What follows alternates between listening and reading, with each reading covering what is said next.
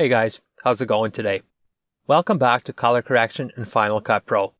In today's video, I'm going to show you how to manually match color between two different clips. If you haven't seen parts 1 through 8, I'll include the link for a complete playlist in the description. And make sure to check out the rest of my channel, lots of great Final Cut Pro tutorials there. Down in my timeline, I have two clips, shot in the same location, but clearly look different. These two clips were shot with two different cameras or the same camera with different settings.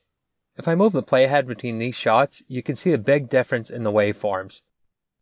To match these shots, seeing them side by side would be really helpful. For that, we can use Final Cut Pro's Event Viewer.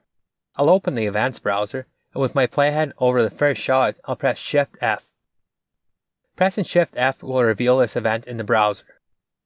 Now, from the Window menu, I'll select Show on Workspace and select Event Viewer. You have to keep the library open to keep the event viewer open, but to make a little bit more space, I can close the library list by clicking this button here and resize the event browser as small as it goes.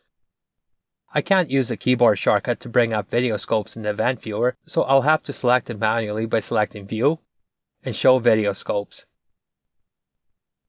I'll also choose Vertical Layout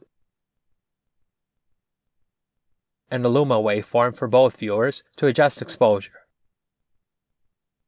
I'll try and match up my waveforms as close as I can.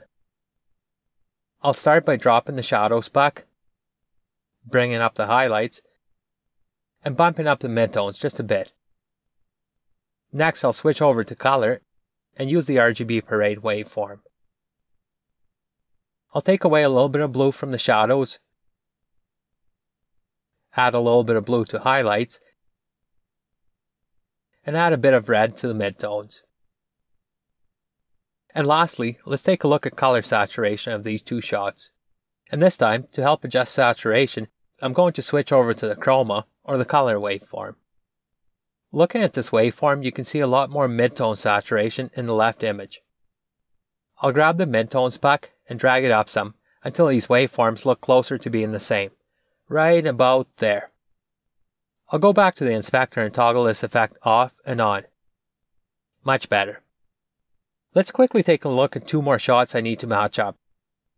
I'll park my playhead over my first clip and press Shift F to show it in the event browser. But as you can see, the clip in the event viewer looks very different from the same clip in the timeline. That's because this clip has been color corrected.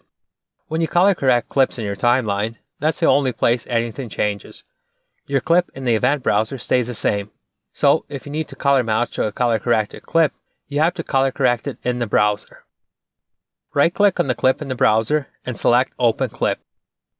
Final Cut Pro opens your clip in a separate timeline where you can color correct it like we did previously.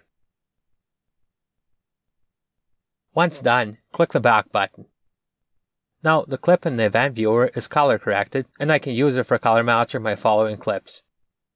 If you enjoy my tutorials, please like, comment, and subscribe. New videos released weekly. Also, if you have a minute, check out my new website, lptguy.com. I will link it in the description. Thanks for watching, and I'll see you next time.